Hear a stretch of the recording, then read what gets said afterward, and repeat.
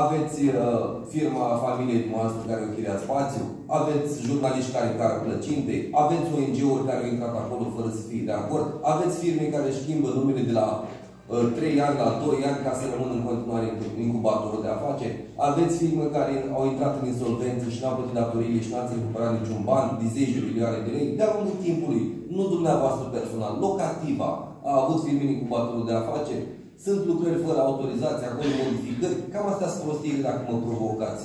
Le vom corecta. N-am nimic personal cu dumneavoastră, cu familia noastră. Acum vreau o clădire pentru municipiul Botoșani.